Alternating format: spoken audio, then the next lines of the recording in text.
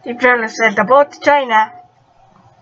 And he came back with the coronavirus. And It's gonna give it all to ye. Cause you annoy him.